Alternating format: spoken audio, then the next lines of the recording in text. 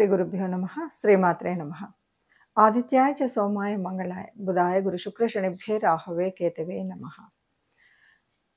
శ్రీమాత శ్రీ మహారాజ్ఞి శ్రీమత్ సింహాసనేశ్వరి చిదగ్నిగుండ సంభూత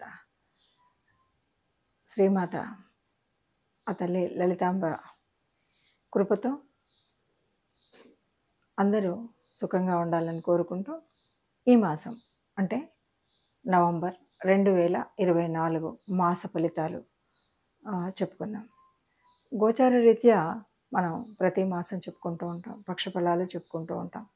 ఇలా మాస ఫలాలు చెప్పినప్పుడు కొంతమంది దృష్ట్యా ఎట్లా ఉంటుందంటే ఇదేదో భయపెట్టడానికి అంటే ఇలా ఉంది అలా ఉంది వక్రగతిలో ఉంది లేకపోతే స్తంభనంలో ఉంది దీనివల్ల ఇలాంటి ఫలితాలు వస్తాయి అని చెప్పడం ఎందుకు అనేటువంటివి ఈ మధ్యగా వింటున్నటువంటి మాటలు.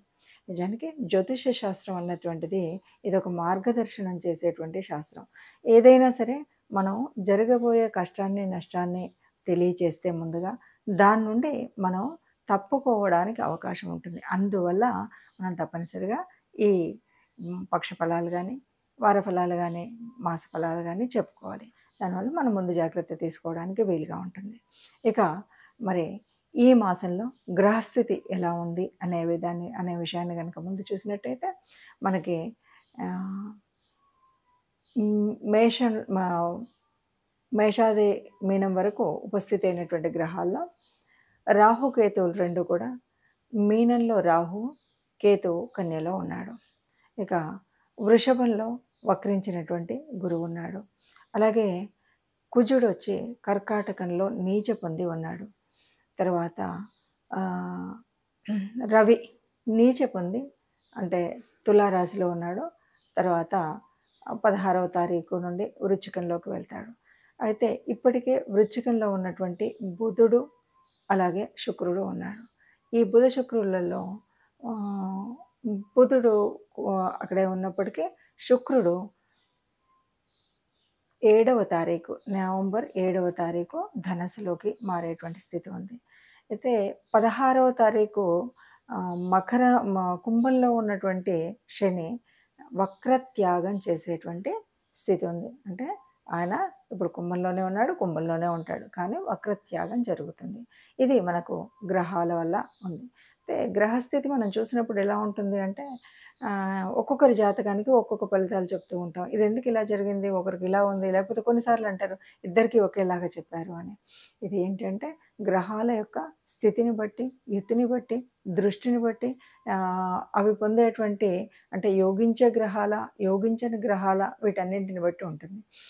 జన్మజాతకంలో ఒకలాగా ఉన్నప్పటికీ అంటే జన్మజాతకంలో అయితే మనకు చాలా స్పష్టంగా ఏ ఏ గ్రహాలు యోగిస్తాయి ఏవి వియోగించవన్నీ తెలుస్తుంది. అలా కాకుండా మనం గోచార రీత్యా చూస్తున్నప్పుడు దాదాపుగా కోటాను కోట్ల మందికి ఒకే రకంగా మనం ఉంటుంది కాబట్టి దాంట్లో యాక్యురేట్గా ఉండక అంటే ఒక ఫిఫ్టీ పర్సెంట్ వరకు మనకు తెలుస్తుంది క్లియర్గా ఇలా ఉంటుంది అని. ఇంకా మిగతాది కొంత జన్మజాతకం మీద ఉంటుంది. ఎవరికైనా ఇలా కాదు జన్మజాతకంలో ఎలా ఉందో అలాగే కావాలి అనుకునేటువంటి వారు మీకు నచ్చిన తెలిసిన ఎవరైనా జ్యోతిష్యుల దగ్గరికి వెళ్ళి మీ గోచార రీత్యా మీ జన్మకుండలిని చూపించుకుని జాతకాలని కనుక క్లియర్గా మీరు చెప్పించుకున్నట్టయితే పూర్తిగా మనకు ఎలా ఉంటుంది ఏం చేయాలి ఉద్యోగ రీత్యా కానీ పెళ్ళి విషయం కానీ ఇంకే ఇంకే రకమైనటువంటి అంటే గృహ సంబంధిత విషయాల్లో కానీ క్లియర్గా మనం చేసుకోవచ్చు. ఇప్పుడు మరి ఈ నవంబర్ మాసానికి రెండు వేల ఇరవై నాలుగులో ఒక్కొక్క రాశి వారికి ఎలా ఉందో చూద్దాం. ద్వాదశ రాశులకు మేషం నుండి మీనం వరకు. తదుపరి రాశి కుంభరాశి. కుంభరాశి రాశిలోనే మరి శని ఉన్నాడు. అది కూడా వక్రించి ఉన్నాడు. మొదటి పదిహేను రోజుల తర్వాత మనకి పదహారో తారీఖు వక్రత్యాగం జరుగుతుంది. ఇది కొంత నయం. తర్వాత మనకి ఇక్కడ ద్వితీయంలో రాహు ఉన్నాడు. ఇది మనం ముందు నుండి చూస్తున్నటువంటి పరిస్థితి. తర్వాత చతుర్థంలో గురువు వక్రించి ఉన్నాడు. అంటే చతుర్థం అంటే గృహస్థానం. గృహస్థానంలో అంటే అమ్మ ఇల్లు వాహనాలు ఇలాంటి స్థానంలో వక్రించి ఉన్నటువంటి పరిస్థితి అయితే కనిపిస్తుంది.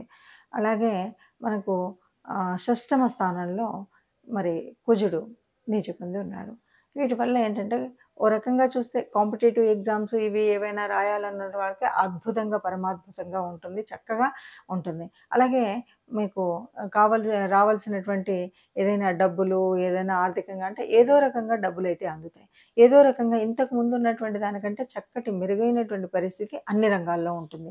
అన్ని రంగాల్లో అంటే వృత్తి చేసేవాళ్ళు కానీ వ్యాపారం కానీ ఉద్యోగాలు చేసేటువంటి వాళ్ళు కానీ ఇంతే కాదు. మనకి ఇంట బయట సంతానంతో సమాజంతో అన్నింటా కూడా చక్కటి సమన్వయం అయితే ఉంటుంది. గత కొంతకాలంగా ఉన్నటువంటి చెడు కాకుండా కొంత మంచి తత్వం మంచి బాగా జరుగుతుంది నాకు ఈ మధ్య బాగుంది అని చెప్పేటువంటి పరిస్థితి అయితే వీరికి కనిపిస్తుంది. చక్కగా ఉంటుంది. ఇప్పుడు శని వక్రత్యాగం తర్వాత బాగుంటుంది పూర్తిగా. అయితే ఏది ఏమన్నా గత కొంతకాలంగా శని ఏళ్ళనాటి శనిలో ఉండి ఇది ఆ శని కూడా మధ్యస్థంలో ఉంది కాబట్టి అంటే ఇప్పుడు మొదటి స్టేజీలో ఉన్నటువంటి పరిస్థితి నుండి రెండో స్టేజీలోకి వచ్చాం కాబట్టి ఇక్కడ కొద్దిగా మధ్యస్థంగా ఉంటుంది. ఈ బాధలు కష్టాలు కొంత అంటే ముందు నుండి ఉన్నటువంటి ఏళ్ళనాటి శని వల్ల వచ్చేటువంటి స్థితి ఏదైతే ఉందో అది అలాగే ఉంటుంది. ఇది ఏమన్నా మీరు తప్పనిసరిగా మనం నవగ్రహ మండపానికి వెళ్ళాలి. ప్రతినిత్యం శని స్తోత్రం చదువుకోవడం అన్నటువంటిది మర్చిపోకుండా ఉండాలి. ఇవి చేస్తూ ఇంకా చెప్పబోయేటువంటి పరిహారాలను చేసుకున్నట్టయితే అంతా బాగుంటుంది అని చెప్పాలి ఇప్పటి వరకు మీరు విన్నటువంటి ఈ రాశి ఫలితాలు అందరికీ ఒకేలాగా ఉంటాయా అన్నటువంటిది కాకుండా కొంతవరకు అంటే ఈ ఇది మనం గోచార రీత్యా చెప్తున్నటువంటిది. ఎవరిది కూడా జన్మజాతకం చూసి చెప్పట్లేదు. కాబట్టి కొంతమంది అప్పుడప్పుడు కామెంట్స్ పెట్టినప్పుడు మాకు ఇలా జరగలేదు అలా జరగలేదు అంటుంటారు. ఇది నిజం కాదు. ఎందుకంటే గోచార రీత్యా అనేక మందికి మనం చూస్తుంటాం. జన్మజాతకంలో చూసినప్పుడు జన్మకుండల్లో చూసినప్పుడు చాలా స్పష్టంగా ఉండొచ్చు. కానీ ఇది కొద్దిగా ఇది మిత్తంగా ఉన్నప్పటికీ దాదాపుగా ఇదే జరుగుతుంది. ఎక్కువ సంఖ్యలో ఇదే జరుగుతుంది. అది గుర్తుపెట్టుకోవాలి. ఇక దీంతోపాటు మరి ఇప్పుడు కార్తీక మాసం. దాదాపుగా మనం ఎలాగైతే నవంబర్ మాసం అని ఇంగ్లీష్ మాసాలను పెట్టుకున్నామో కార్తీక మాసం కూడా ఈ సమ సరి సమానంగా వచ్చింది. ఈ మాసం అంతా మాస ఫలితాలు తెలుసుకునే వారందరూ కూడా ఈ మాసంలో ఇటు మరి ఎందుకంటే ఇక్కడ శివకేశవ అభేదాన్ని చెప్పేటువంటి స్థితి మనకు కనిపిస్తుంది.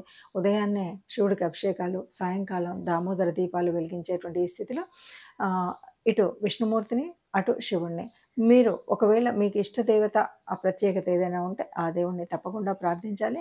అలాగే ఈ మాసం అంతా కూడా వీలైనన్ని సార్లు గోశాలకు వెళ్ళి గోగ్రాసం ఇచ్చినట్టయితే మీకున్నటువంటి గ్రహ దోషాలు కానీ లేకపోతే గ్రహాల దృష్టిల వల్ల వచ్చేటువంటి చిన్న చిన్న అననుకూలమైనటువంటి పరిస్థితులు ఏవైనా ఉంటే అవి పూర్తిగా అనుకూలంగా మారేటువంటి స్థితి అయితే ఉంటుంది. ఇక్కడ మనం ఈ మాసం అంటేనే పూర్తిగా ఆధ్యాత్మిక చింతనకు చెందినటువంటి మాసం.